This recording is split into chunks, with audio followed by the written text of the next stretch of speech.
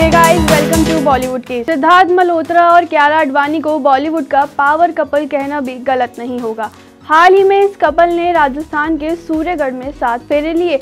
साथ ही सिद्धार्थ और क्यारा ने अपने रिश्ते को लेकर किसी से भी ज़िक्र नहीं किया था। दोनों बॉलीवुड के उन एक्टर्स में से है जिन्होंने अपनी शादी को लेकर अपनी डेटिंग तक खुलासा ही नहीं किया। वहीं अब एक इंटरव्यू के दौरान सिद्धार्थ ने अपनी शादी को लेकर बड़ा खुलासा किया है। वहीं अब एक इंटरव्यू के दौरान सिद्धार्थ ने अपनी शादी को लेकर बड़ा खुलासा किया। दरअसल इस पावर कपल ने प्यार की शुरुआत ब्लॉकबस्टर फ़िल्म शेरशाह से की थी। लेकिन इन्होंने अपने प्यार को ऑफिशियल रखते हुए कभी पब्लिक नहीं किया। लिहाजा कुछ सालों में शादी के बंधन में बन गए और अब कपल ने अपनी शादी को लेकर बड़ा खुलासा किया है। एक अवार्ड शो में इस पर बात करते हुए सिद्धार्थ ने बताया, शेरशाह एक ऐसी फ़िल्म है जिसे उन्होंने न सिर्फ़ दर्शकों का प्यार मिला, बल्कि एक पत्नी तो आपको एक फ़िल्म से और क्या चाहिए?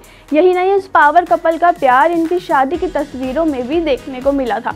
कपल ने अपनी शादी की शुरुआत भी फ़िल्म के गाने से की थी, जिसमें इस पर क्यारा डांस करती नज़र आ रही थी। शादी के बाद कपल ने अपनी फ़ोटो पर शेषा का डायलॉग लिख कैप्शन दिया था, जिसमें लिखा था, अब हमारी परमानेंट बुकिंग हो गई है। हम अपने आगे के सफ़र के लिए आपका आशीर्वाद और प्यार चाहते हैं। जी हाँ ये शेषा का ही डायलॉग है। वहीं दोनों की शादी को लेकर एक महीना होने को है और कपल की फ़ोटोज़ अभी भी सोशल मीडिया पर वायरल होती नज़र आ रही हैं। क्यारा ने अपनी मैरिड लाइफ के बारे में बताया, वो बेहद खुश हैं।